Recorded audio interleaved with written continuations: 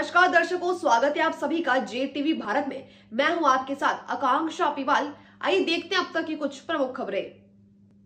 कुकड़ेश्वर नगर में सोनी समाज के गणगौर तीज का उत्सव बड़े धूमधाम से मनाया। नगर के समाज के सभी समाज बंधुओं ने, महिला एवं पुरुष, युवा वर्ग के सभी समाज जनों ने गड़िया मंदिर, लक्ष्मीनाथ मंदिर पर एकत्रित होकर नगर में गणगौर तीज के उत्सव के शुभ अवसर पर गणगौर मैया के झाले लगाते हुए पूरे नगर में ऐतिहासिक बैंड बाजे के साथ जुलूस निकाला गया। समाज जनों एवं गणगौर माता का नगर वासियों ने जगह जगह पुष्प वर्षा से स्वागत अभिनंदन किया।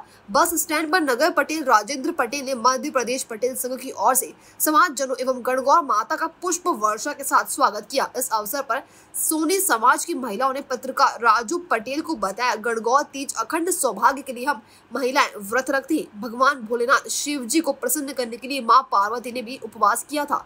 जुलूस नगर भ्रमण करते हुए गड़िया मंदिर लक्ष्मीनाथ मंदिर पहुँचा, जहाँ समापन हुआ और समाज जनों का प्रसादी वितरण भी किया गया।